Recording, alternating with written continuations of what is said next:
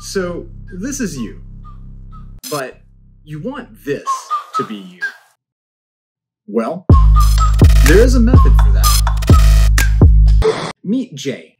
Jay is broke. He does have a decent job with a pretty good paycheck, but he always seems to run out of money right before payday. Does that sound familiar? Well, there are two possible reasons for Jay's money problems. Number one, either he has an income problem, meaning he isn't earning enough money to cover even his basic living expenses. Or number two, a lifestyle or money management problem, meaning he does earn enough money to have a balanced budget, but he's just misappropriating his funds. Now, sure, there are some unforeseen financial emergencies, things like losing your job or a major illness that could lead to financial troubles. But in this video, we're going to talk about the things that are within your control.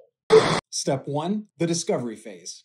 Now, to complete this step, you'll need to gather some information. Pull together your last three bank statements, and if you have multiple accounts, make sure you get statements for all of them. If you have credit cards, go ahead and download those statements too. And if you have any expenses that will not show on either of these statements, go ahead and pull those together too. For example, anything that you might pay for in cash or things that are drafted from your paycheck. And now that you have all of your expenses down in one place, take the time to look at each of them individually and let's separate them into one of two categories necessity and non necessity. Now, you're an adult. I know you understand the difference between the two, but sometimes the line can get really blurry between them. I mean, eating is a necessity. Eating out for every meal, not so much. Also, trips to the grocery store. It would be really easy just to throw all of those Whole Foods expenses into the necessity category.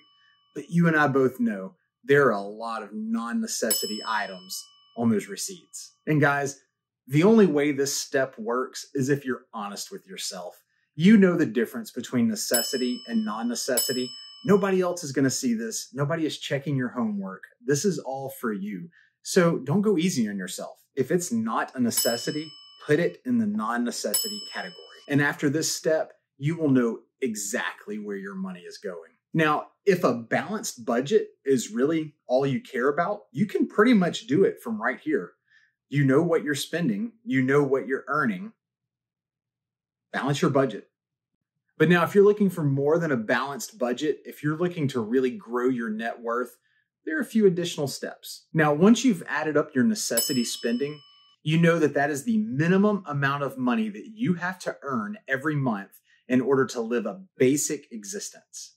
And every penny that you earn over the necessity amount, that's the money we have to work with. That is the money that we have to use to grow your future. Now, if you earn less than your necessity spending, you've got some work to do. You need to work on increasing your income now. And if you earn more than your necessity spending, you don't have an income problem. And if that's the case, we need to look at your non necessity spending and see where we can cut so that we can find money that you can use to invest in your future. And after this step, if you decide you want more out of life than just a balanced budget, then let's jump into step two setting your goals. Imagine taking a road trip to somewhere you've never been before and not having your phone or a map with you.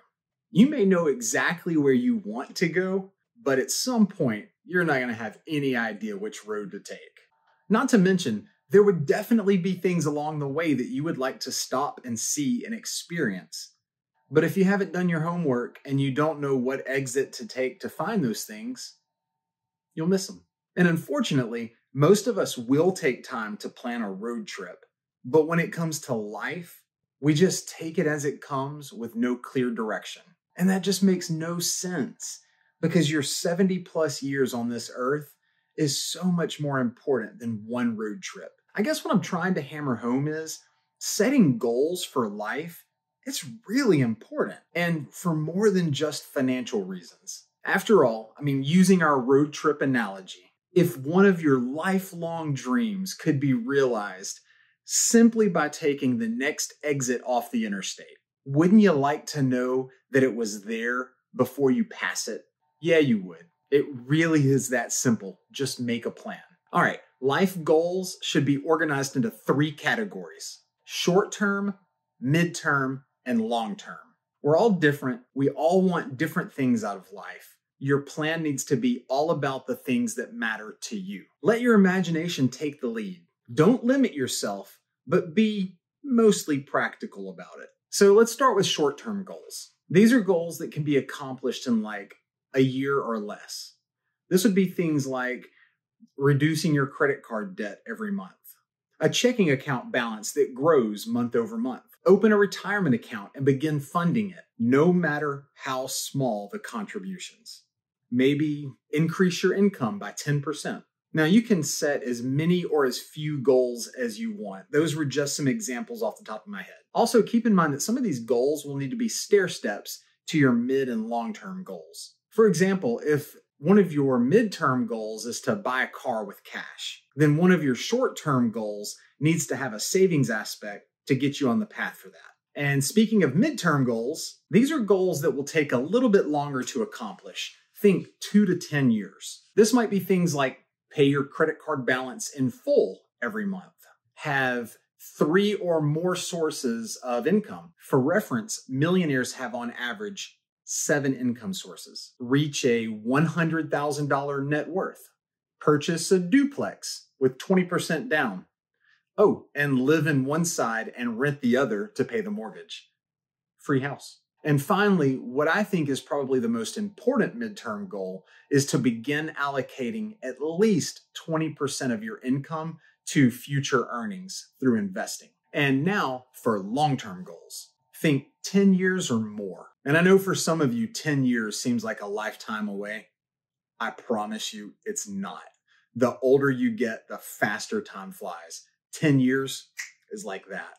So for your long term goals, maybe it's something like completely debt free of consumer debt. I say consumer debt because there are times when borrowing money to make more money is a valid thing. So, debt free of consumer debt. Maybe build the home of your dreams by the time you're 40. Maybe a net worth of, say, 5 million or more by the time you're 45.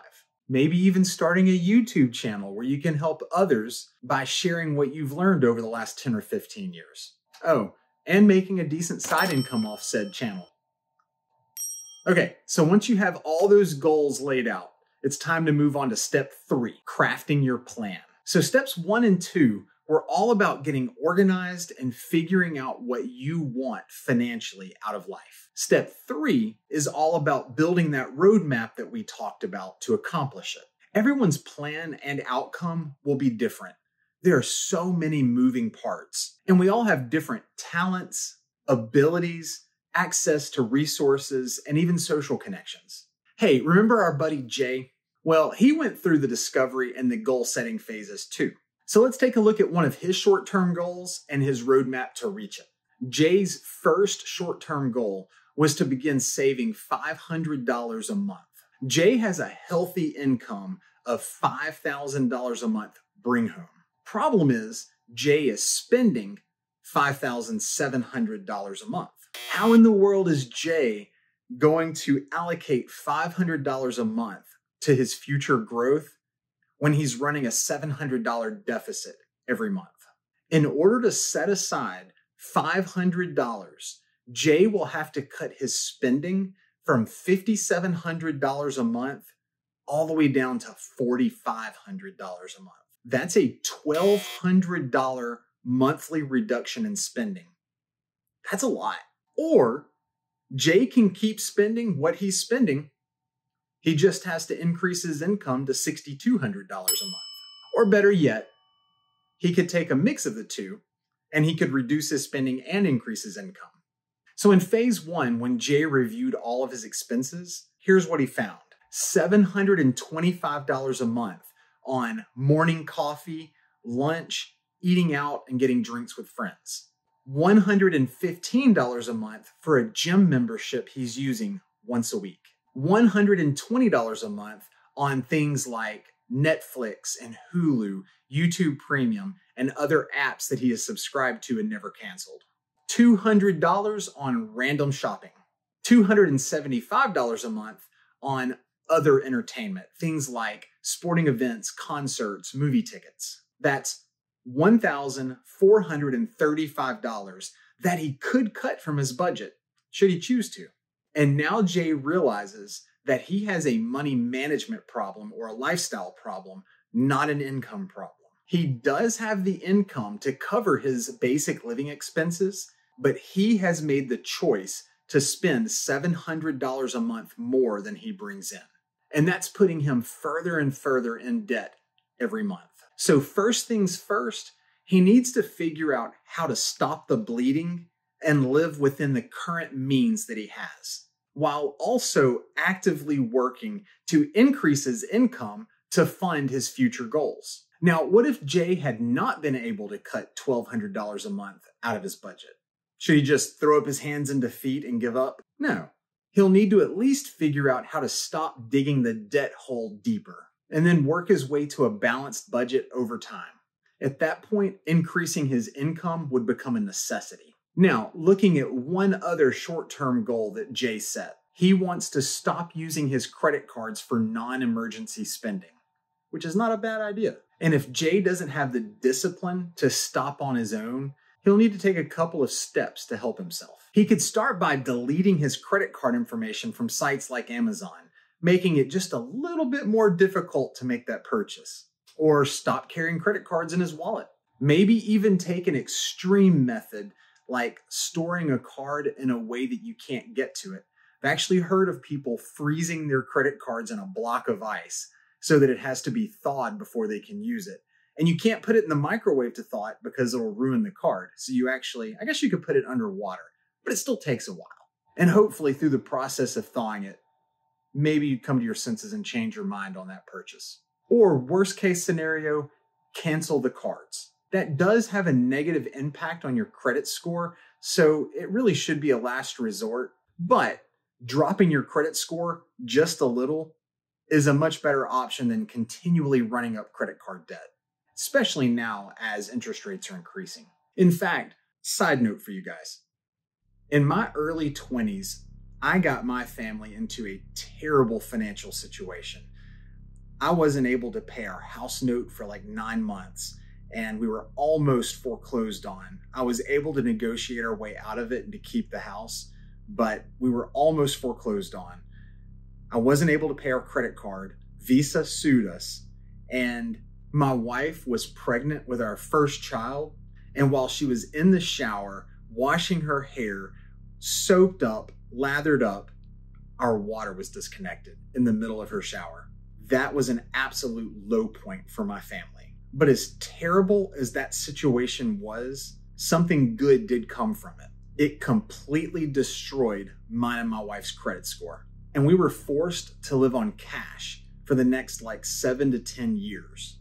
Now, the unfortunate thing for us was the lost time in investing. The blessing was we learned how to live off cash. If we didn't have cash, we didn't buy it. That whole situation, that was the punch in the face that I needed to get my financial life in shape. Okay, now back to Jay. But I think you get the point. Jay and you will have to walk through all of your goals and make sure that you're crafting a realistic plan to hit them. Now, once you have your plan in place, you'll know exactly what resources that you need to make it all happen. And remember, cutting expenses is not the only way to solve a financial deficit. You'll also need to look at ways to increase your income. So in step one, Jay learned where his money was going. In step two, he defined his goals. And in step three, he developed a plan to hit them. In step four, he has to implement the plan. It's time to get work done. You have a plan, follow it. This is by far the most difficult step. You'll have to dig deep and find willpower and discipline. And like I've already said, you have three choices to hit your goals budget and spend less, increase your income, or both, budgeting and increasing your income. That's the best option. And one word of caution to be successful in all of this, you cannot constantly deny yourself the things that you want. After all, that would be a miserable life. And if I had to guess, you did not put have a miserable life in your life goals. If you want a life that's more expensive than your current earning level, that's totally fine. There's nothing wrong with that. It's up to you to go out and figure out how to earn more money, though. Money is not scarce, it's all around you. There is more than enough in circulation for you to get what you need and plenty more. And after these steps, you'll have all of the information that you need to craft your plan and follow through with it. Step five track, reassess, and optimize. Life is long. You will change as a person. And your goals and desires, those are going to change too. And as you're making your way through life, you should be continually checking your pulse to make sure that you're still on the right path. As your life's goals and desires change, simply update your plan to make sure that you're still on a path to hit those things. It really is that simple. Now, life is a bit like a roller coaster. Sometimes things are smooth and headed up, and then sometimes the bottom will fall out from under you. And that's terrifying. But as long as you stay on the track, you will get to your final destination. Guys, the best way to increase your net worth is with passive income. And this video right here can help you with that. Guys, thanks for watching, and I'll see you in the next one. Bye.